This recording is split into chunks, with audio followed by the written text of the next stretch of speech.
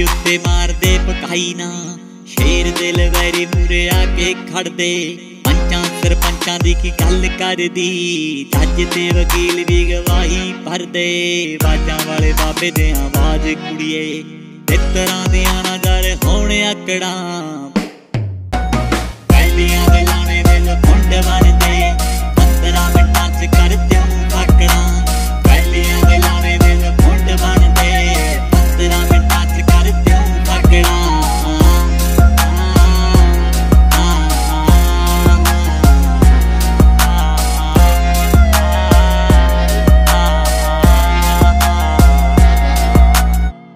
ਦਾ ਖੜਾਕ ਸੁਣ ਦਿਲ ਧੜਕੇ ਵਿਰੋਧੀਆਂ ਨੂੰ ਥਰ ਥਰ ਕਾਂਬੇ ਛੜਦੇ।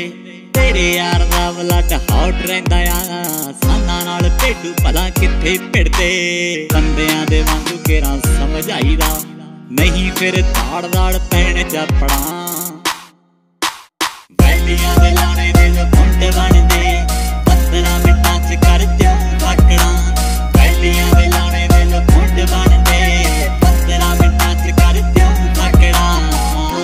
तुम अपनी फिक्र करो साहिब हम तो पहले से ही बदनाम हैं